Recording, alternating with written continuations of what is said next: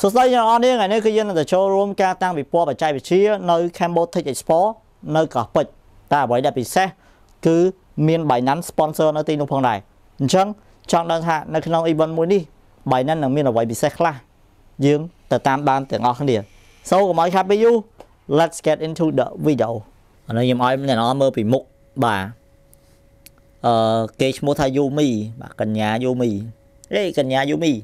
អ្នកមើលមុខដល់ ចឹងអ្នកអាច comment នឹងក្រុមថាអាច mention មុខណាគេដែលដូចមុខ Yumi បានបាទ Yumi តោះតោះតោះតោះវាស្មានខ្ញុំទៅទៅដើរលេងចឹងវាទៅចាំមាត់ទ្វារមុនទៅហើយគេអត់តាមពិតខ្ញុំអត់យកវាទៅទេបាទ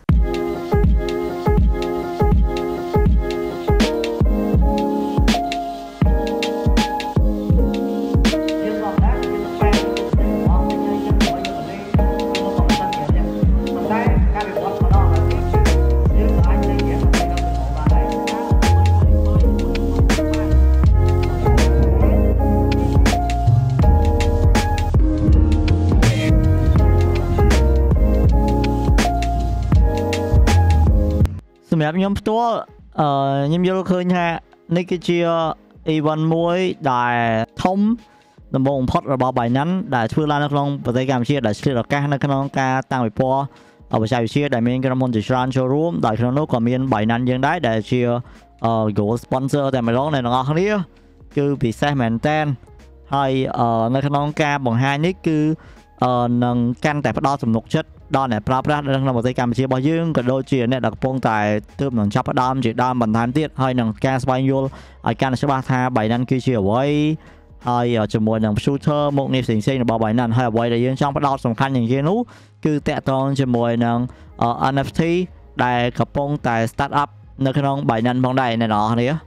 អឺយ៉ាងណាមិញនៅក្នុង event មួយនេះអ្នកមានការចូលរួមច្រើនកោះកលមែនតើអឺខ្ញុំសូមការសើរ និងជាពិសេសអរគុណដល់បងប្អូនទាំងអស់ដែលចូលរួមនៅក្នុងព្រឹត្តិការណ៍មួយនេះជាពិសេសបងប្អូនដែលអមកថតរូបលេងជាមួយនឹងពួកខ្ញុំអីចឹងណាយ៉ា so ខ្ញុំសប្បាយចិត្តហើយពេលដែលយើងចេញនៅក្រៅយើងឃើញមានអ្នកមកថតរូបមកមកយើងអរគុណអ្នកទាំងអស់គ្នាមែនតើជាពិសេសអ្នកនរនេះអ្នកដែលគាត់ចូលរួមគឺគាត់ទទួលបានគីបកាតផ្សេងផ្សេងពីបៃណាន់ដូចជាអាយឺតសម្រាប់ការឆ្លើយសំណួរផ្សេងផ្សេង អឺដោយសារតាការតេស្តលើសាក់របស់ថាចង់ដឹងវិញ្ញាណនេះតើស្វែងយល់ពីបៃណាន់បានកម្រិតណាបន្ថែមទៀតហើយយើងនឹងធ្វើឲ្យ community មួយនេះកាន់តែ rich and run បន្ថែមទៀតតាមរយៈ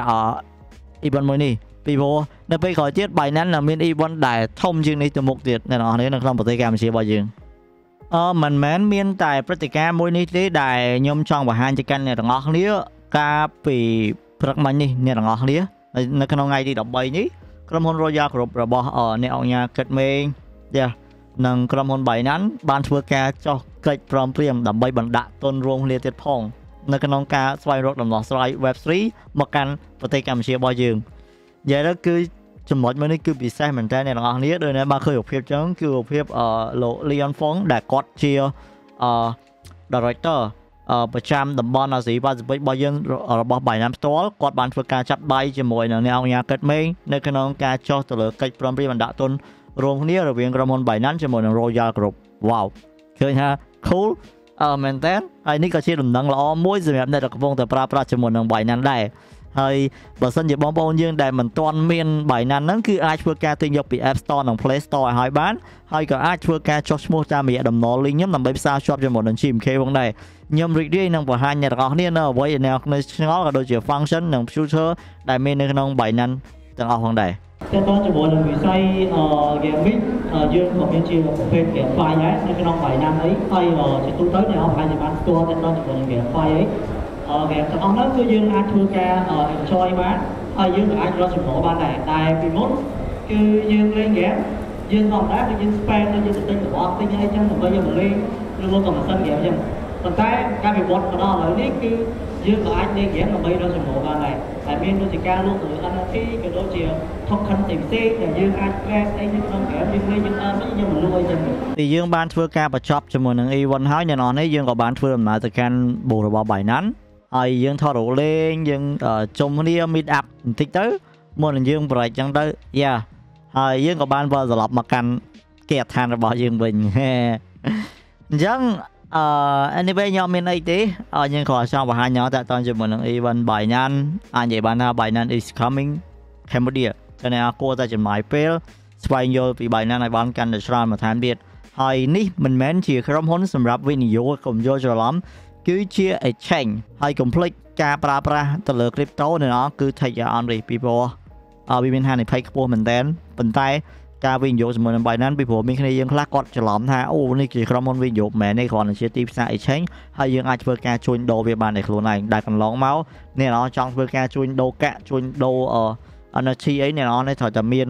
អឺអ្នកផ្សេងមកជួយទិញអ្នកនរឬមកក្រុមហ៊ុនណាមួយដែលតែជួបបញ្ហាតាក់ទងជាមួយនឹងការបោកប្រាស់ហ្នឹងយ៉ាប៉ុន្តែសម្រាប់ Binance គឺអ្នកនរនេះអាចធ្វើការជួញដូរបានដោយខ្លួនឯងនិយាយទៅអឺ take your own risk ហេ So anyway អរគុណអ្នកនរនេះមែនតើ bye bye ជួបគ្នានៅវីដេអូក្រោយទៀត